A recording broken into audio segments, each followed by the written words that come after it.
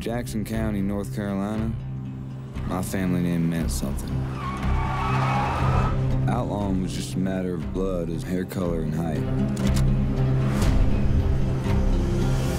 Methamphetamine was a living, breathing body in Jackson County. And Daddy was the heart. And everyone knew he was not the man you wanted to cross. You're a McNeely. We do not choose this life. It chose us. It'll be that way till we ain't breathing. You know you had goodness in your heart the minute you came into this world. You need to get out of this place, away from your daddy. When I'm elected governor, I aim to make this community a safer, better place for all of us. Get the hell out of my county, or I will nail your ass to the cross. You ain't never gonna change. The devil's got you. Now you got a life ahead of you.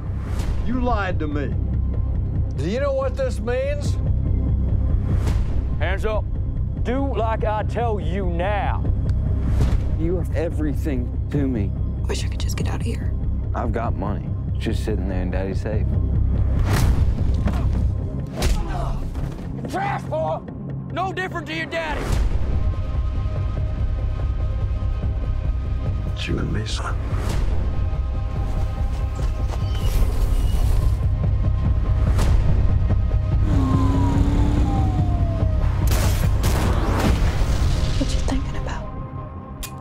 fix this.